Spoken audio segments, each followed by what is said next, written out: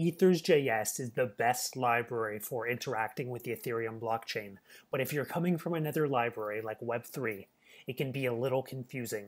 I'm going to break down the two most important objects that you need to understand for Ethers.js providers and signers. I'll explain what they are, when to use each, and how to initialize them. Let's go. High level, a provider can only read from the blockchain, but a signer can read and write. Well, let's go a little deeper. There are two ways that I commonly create providers. If my code is attached to an app with a user interface, I do this. New ethers.providers.web3 provider, and then I pass in window.ethereum. Where window.ethereum is an API that MetaMask inserts into the browser, allowing users to interact with the blockchain. Given that, it makes sense that this only works if you're writing code that is connected to a browser.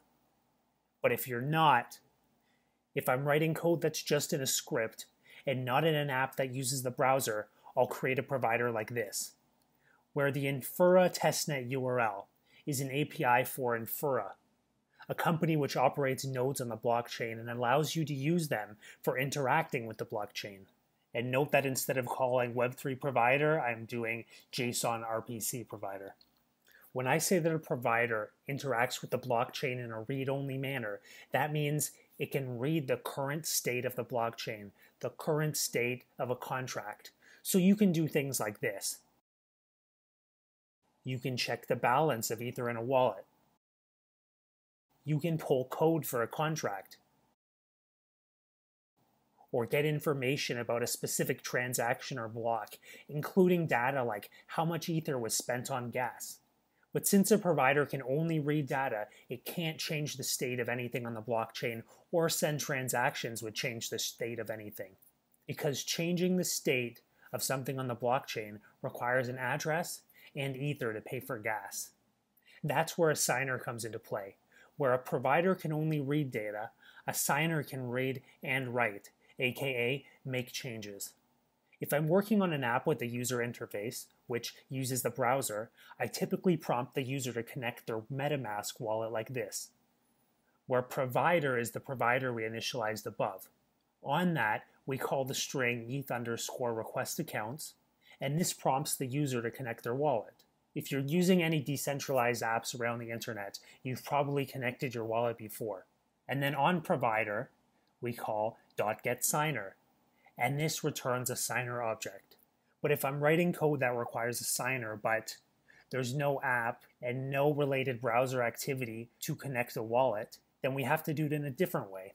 Here we're using the wallet object, which inherits from signer, so it's able to do all the same things. And what we can do is pass in the secret key of our wallet, and that creates a wallet object. And by default, the wallet doesn't have a provider, but we can connect one and that gives us our signer with which we can interact with the blockchain. If you find the video you're watching helpful, do me a huge favor. Scroll down to the thumbs up, give it a click, and then hit subscribe. It helps keep me motivated to keep making awesome and in depth blockchain tutorials to help you out. Now back to writing code. Here's an example of using a signer to execute a transaction. Given a contract, we can connect our signer with this .connect syntax, and then we can call a function that exists on the contract itself. This is the Uniswap router contract, and here we're calling a function exact input single, which is one of the functions you can use on that contract to programmatically swap tokens on Uniswap. Now here, we're connecting our signer again to the wrapped ether contract, which manages wrapped ether tokens and we're calling approve on that. And in this case, by passing in the address of that Uniswap router contract and an approval amount, we're giving Uniswap permission to access wrapped Ether on our wallet.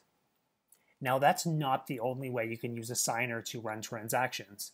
You can also create a transaction and then on your signer call send transaction and pass in that transaction object. Now, there are a lot more methods and even more types of providers that you can check out in the Ethers.js documentation. but above is how you'll typically see me use providers and signers in my tutorials. I hope you found that helpful. If it was, give it a thumbs up and hit subscribe. I'll see you next time.